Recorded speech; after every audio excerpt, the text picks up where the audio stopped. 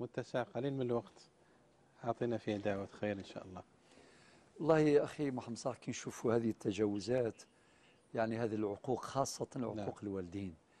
اللي ما عندوش والديه يتمنى لو كان عنده والديه.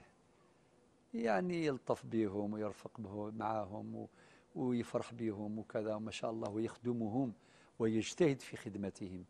ولكن اللي اللي عندهم علاش ما ي- ما ما يستثمروش هذه النعمة وهي نعمة كبيرة.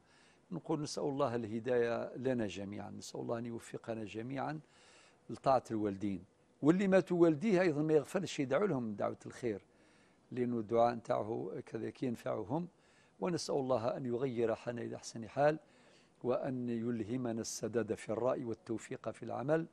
وأن يرشدنا جميعا إلى طاعة الله عز وجل وطاعة رسوله صلى الله عليه وسلم وطاعة الوالدين ونسأل الله أن يغير حالنا جميعا إلى أحسن حال.